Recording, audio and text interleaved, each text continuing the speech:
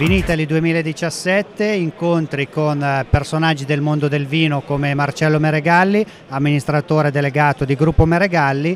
Non tutti sanno che in casa Meregalli c'è anche una cantina di proprietà tenuta Fortuna e siamo qui proprio in questo stand. Esatto, eh, noi dal 2002 non facciamo più Vini Italy perché come gruppo Meregalli abbiamo le nostre manifestazioni che si chiamano 100 Vini, quindi eh, preferiamo portare la clientela in ambienti un po' più piccoli rispetto a tutto questo bailame che c'è a Vini Italy. Però abbiamo voluto venire quest'anno in chiave di produttori proprio perché nel 2009 abbiamo acquistato il 100% di questa tenuta, tenuta che nasce nel 97 da un progetto del Cavaliere Ezio Rivella con cui avevamo fatto questa società per partire con la produzione. I primi ettari vitati hanno iniziato nel 98, la prima annata di produzione è stata la 2002 e poi pian piano si sono incrementati il numero di etichette, i, vini, i vitini differenti piantati fino ad arrivare poi quindi ai giorni nostri dove c'è la gamma attuale che porteremo avanti.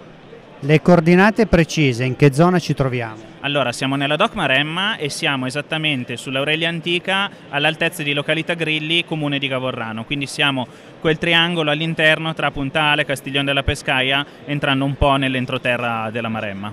Una zona in cui quando avete appunto iniziato era quasi una scommessa parlare di vino di qualità, oggi invece... Oggi è diventato un po' il nuovo Eldorado della Toscana quindi abbiamo dei vini un po' differenti di carattere rispetto al ben più noto Bolgheri, ma tutti i grandi nomi del, del vino, dagli Antinori al Terramoretti, eh, Panerai, sono tutti arrivati un po' in zona, nel, proprio nel, nel, triangolo d'oro della Maremma e soprattutto si vanno a fare dei vini con dei vitini internazionali e molto bene invece sta venendo il vermentino toscano. Che target hanno questi vini? Allora vanno diciamo prezzo pubblico, eh, partiamo da un circa 11-12 euro eh, prezzo enoteca per gli entry level fino ad arrivare sul top di gamma che è Messio eh, che in enoteca andrà attorno ai 27-28 euro.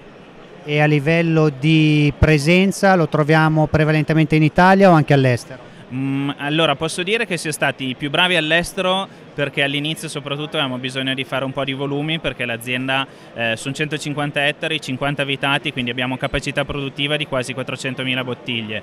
Eh, L'Italia l'abbiamo fatta sempre abbastanza marginalmente, volevamo eh, essere con uno zoccolo duro forte anche su tutti i vari continenti, oggi siamo in 42 nazioni e finalmente poi ovviamente prendendo in mano completamente la gestione della, eh, della parte italiana, anche oggi in Italia si può trovare un po' in tutta Italia diciamo. Grazie Marcello e direi buon Vinitali. Esatto, buon Vinitali, grazie a tutti.